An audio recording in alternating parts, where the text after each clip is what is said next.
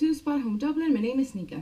In this virtual tour, I will be showing you a flat in Ballsbridge, and that is uh, pretty much uh, city center. You will be around 10 or 50 minutes uh, by bus from O'Connell Street, for example, which is one of the main roads here in uh, Dublin City. And uh, you have everything that you need just walking distance. There is a bus stop uh, right outside. And then you are just walking distance from Baggot Street, for example, which is a, another main road in city centre. And you have plenty of shops, pubs, restaurants, and supermarkets just uh, walking distance. And that's pretty much it. This is uh, very well located in a very nice area. And that's it. So just come with me so we can begin the tour. Okay, so we begin our tour coming through the front door.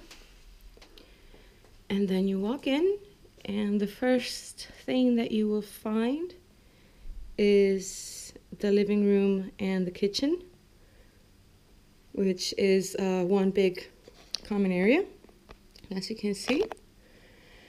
So you got, first of all, a desk and the kitchen table right here.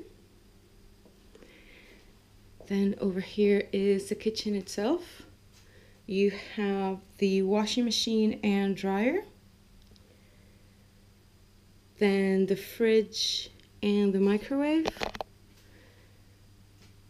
You got a coffee maker and toaster, kettle, and those type of kitchen utilities. The oven and the stove.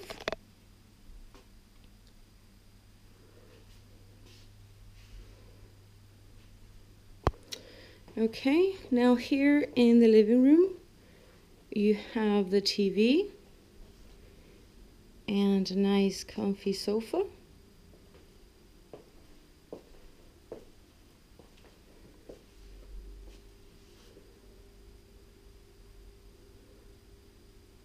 Okay, so now we walk down the hall where the bedrooms are. And the first thing that you will find to your left, or to your right, I'm sorry, is the bathroom. So it's a pretty spacious bathroom, as you can see. You have over here the shower, and then the sink and the toilet. Okay, over here is the landlord's bedroom. And here is the bedroom that we're looking at today.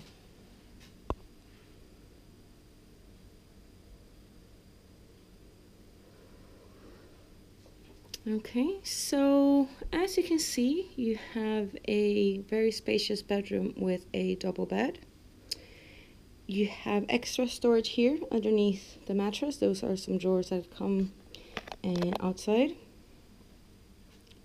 Then you have heating right here. The wardrobe is on this side of the bedroom. And as you can see, there are personal things here. but They'll be gone, obviously.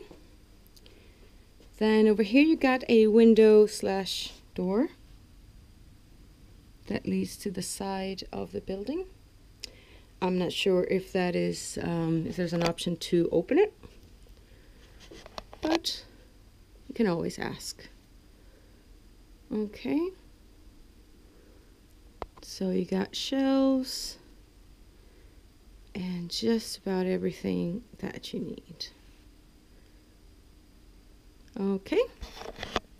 So that is it. Thank you very much for watching. I hope this video has been helpful. But if you have any further questions or queries, just send us an email and we'll get right back to you. And I will see you in my next tour. Bye.